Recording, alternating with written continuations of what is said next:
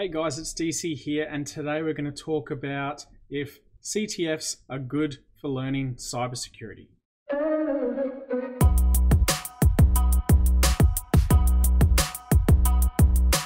So CTFs or capture the flags are basically hacking challenges to learn different uh, methods of pen testing or security in general. You can also learn things like cryptography, uh, OSINT, steganography, forensics, and different types of pen testing like web pen testing or app pen testing. Uh, often it's it's basically like gamification for learning cybersecurity. So to the original question, can you learn cybersecurity from doing CTFs?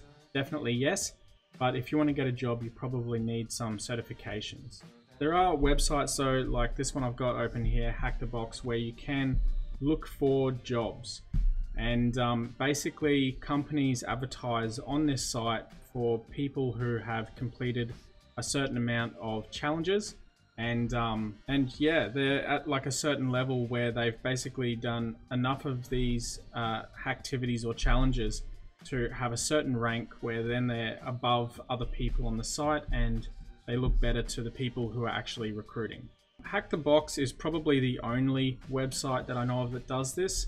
Um, however, doing CTFs on other websites like the Over the Wire War Games ones, which are pretty cool as well, um, but they're more like Linux-based challenges, as well as ones like tryhackme.com, which just has a, a huge range of all different sorts of challenges, are also great for learning uh, different methods of attack. Speaking of TryHackMe, there's a link in the description uh, if you want to sign up for their service, you can use that referral link and you get some uh, freebies like some additional rooms that usually would cost money.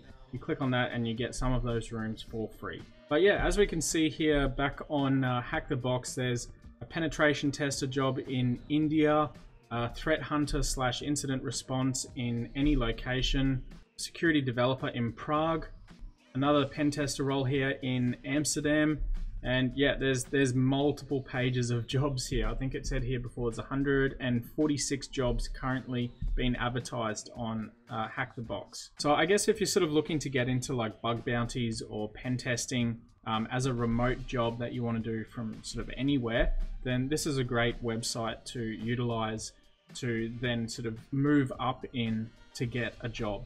You may just be like me though, who uses these websites just for fun and to um, sort of help other people learn that you can use these sort of techniques to get around in the world of cybersecurity. If you're interested as well, uh, on my YouTube channel, which is YouTube forward slash DC Cybersec, there is a playlist on there as well of different uh, capture the flags that I've either completed live or pre-recorded and put up on there.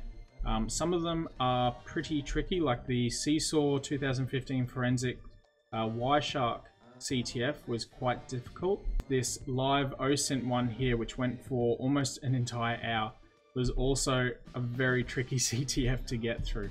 So um, yeah, if you want to sit down and watch uh, me going through those and completing them, um, it's also a good way to learn by watching someone else doing them. You might have seen the other day that I was advertising uh, TryHackMe's 25 days of cybersecurity challenge and it's still going at the moment. So if you want to jump on there and um, have a go at the challenges on there that's a it's a great way to learn.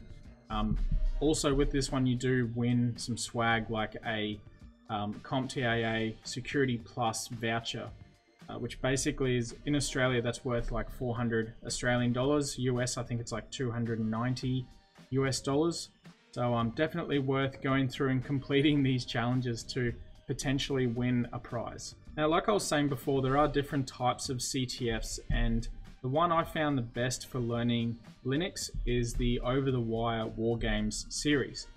Um, if you want something that's sort of like entry level, just to sort of dip your feet in the, um, I guess, Linux security world, the Over the Wire Bandit ones are definitely the best ones to get through. Um, as you can see, there's a lot of levels to this challenge, and it sort of starts from really, really basic um, all the way down to extremely difficult. I've had a few people telling me that I should give uh, the Leviathan one a try, which I've never done before, um, because apparently it's extremely hard. I, I have no idea if it is or is not, but that's just what I've been told. Anyway, to wrap this video up, is a CTF good for learning cybersecurity practices? Definitely yes. Have a look at those three websites that I was just talking about, hackthebox.eu, overthewire.org, and tryhackme.com. I'll put a link in the description for all of those. And um, yeah, give them a try. They're, they're really fun and you do learn a lot from doing them. It's very much like real world situations. So just be aware of that, that sometimes it can get a little bit too much, but it's very intense for a reason. It's to basically throw you in the deep end and make you learn. So that's all we've got time for today, guys. Thanks for watching. Don't forget to give me a thumbs up if you enjoyed this video, subscribe for more, and comment if you have any questions. Thanks. I'll catch you on the next one.